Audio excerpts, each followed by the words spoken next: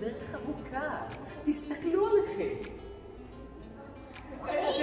כדי, להשיג לחם, אתם הולכים ללחם עומר, טלר, דוד לאור, אה, אושר עד, רמי לוי, או סתם למכולת של שקורי, וקונים לחם ב...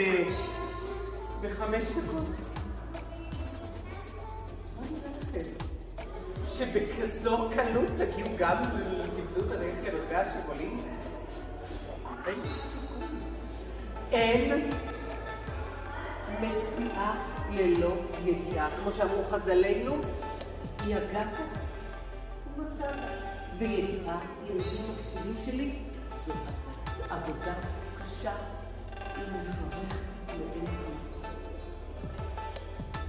איי, איי, איי, איי, אני אומר לכם משפט שסבתא שלי הייתה אומרת על מטבע שלי.